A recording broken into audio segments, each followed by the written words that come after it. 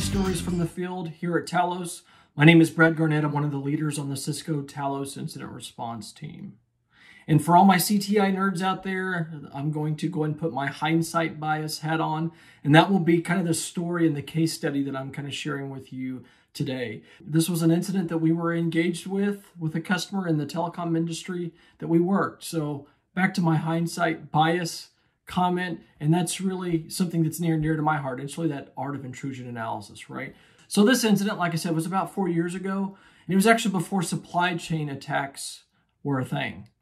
And very interesting. I'm not going to get into and talk about attribution. We'll just say it was with a, a threat actor group commonly associated with a group in Eastern Europe, likely uh, the adversary here in this case. But it was it was very interesting in regards as far as the data sets, but then again, like I mentioned, hindsight, right?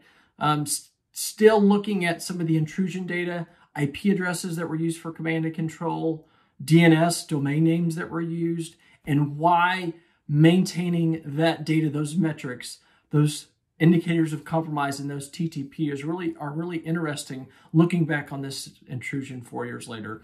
Every now and then, you know, I always like to refer back to this case as an incident response professional and just look and see what the adversary is doing, right? And if you're familiar with the diamond model, right, command and control, some of these indicators of compromise, you know, an adversary needs some type of infrastructure, right? So if you're familiar with the diamond model, the adversary targeting the victim, infrastructure, then of course, what's the capability or the TTPs associated with that with that adversary. But what's very interesting here is, um, in this particular case, like I mentioned a while ago, it was a supply chain attack.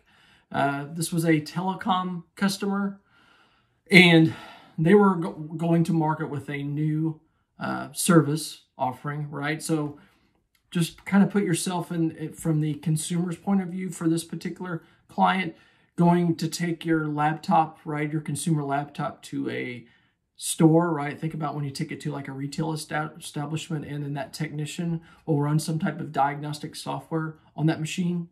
That's that was exactly what this infrastructure here. It was a uh, research and development network that uh, was attacked, right, where the adversary installed an implant, right, a back door, right, maintaining uh, persistence over the course of about or three or four weeks you know, up into a third party notification. Um, looking back on it, and you know, I've been monitoring, uh, for example, a lot of the, the DNS data, the callouts associated with this uh, particular threat actor, this particular intrusion going back uh, to 2016. And you know, you, you definitely see those heartbeats. Um, you can see where the adversary is kind of tearing down, you know, different infrastructure, uh, reusing infrastructure, reusing this same infrastructure, uh, this command and control channel but back to what I when I initially opened with, right? Why it's important to understand to maintain those intrusion sets, right? When you look at your organization's capabilities, the technologies, the security instrumentation that you have in place, it's very important to understand what are your organizational requirements? What is that threat model? Do you have a threat model? Right? Those are one of the things that we often advise customers with through the Talos Incident Response Retainer. So really understanding your organizational need, the requirements are very important. So, in, in this particular uh, in, intrusion, like I said, you know, it, it, took place over several weeks and there ended up being a, a third party notification on it. But what's very interesting today, and that's really the, the message that I want to uh, kind of close out with, is to make sure whatever you're collecting, DNS data, NetFlow data, all the all this different these different data sources that you're collecting, maybe it's in your SOC, whoever is is maintaining that data, and analyzing that data. Hopefully, it's your security operations center. Maybe it's an MSSP. Maybe you have someone kind of in house, right? Because you're a small, medium organization that's doing that.